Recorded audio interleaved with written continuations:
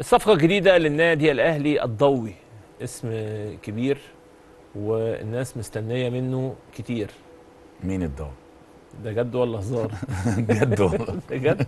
طيب دي سمعت أسماء كتير جدا أيوه دي صفقة جديدة مضاها النادي الأهلي وكيل أعماله كان موجود معانا هنا امبارح ضيف خلاص مضى مضى في النادي الأهلي والمفروض إن هو عنده 19 سنة لاعب جيد طرف ومتوقع منه إن هو بيلعب فين؟ كان بيلعب فين؟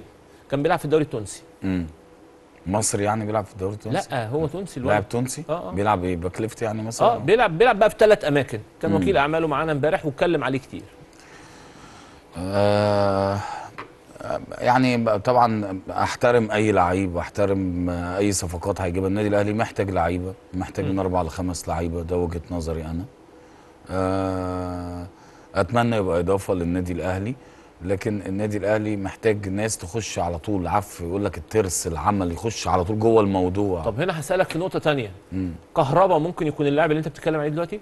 عنده خبرات. يخش طبعا. مع الترس على طول؟ طبعا آه، طبعا طبعا. كهربا لعيب كبير.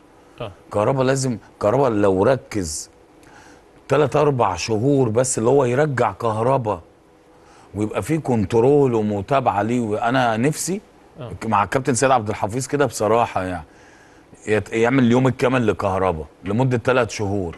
يبعد عن الدنيا كلها عن الأصدقاء عن كل حاجة. بجد والله لأن يرجع كهربا هيفرق مع النادي الأهلي كبير جدا والمنتخب مصر. اذا